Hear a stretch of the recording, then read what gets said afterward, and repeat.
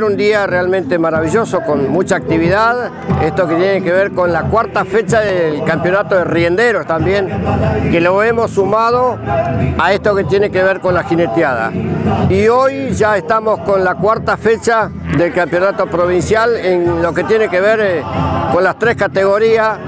la categoría crina que es 8 eh, segundos con las de piguelo largo y el tiento pescuecero únicamente,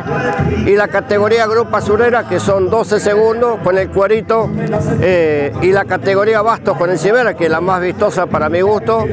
que son 14 segundos y, me parece que vamos a tener un nivel de jineteada impresionante. Con mucha actividad en el escenario, con los payadores, con los compañeros relatores, un campeonato que ya está finalizando, pero que estamos con la mente puesta en sacar a los campeones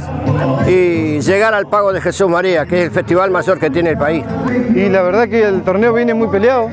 eh, venimos todos medio parejos, buenos caballos. Hoy gracias a Dios me tocó una yoga muy buena, este, gracias a Dios pudimos cumplir con lo, que queríamos y bueno, esperemos la final en Cervantes. Y, ansioso, la verdad que ansioso, nervio, se junta todo un poco por, el tema de los puntos, la clasificación y todo, pero lo importante es que terminemos todos los compañeros sanos, ¿no? La verdad que bien, orgulloso de poder sumar eh, y bueno, a porcionarme de,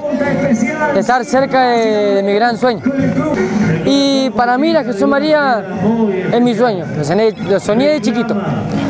Y bueno, hoy estoy ahí, así que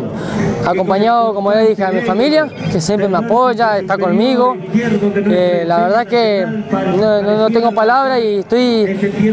desesperado para tratar de ir a, cumplir mi sueño y dejar bien a mi provincia, que es lo que más amo y lo que más siento en mi corazón, que es Río Negro.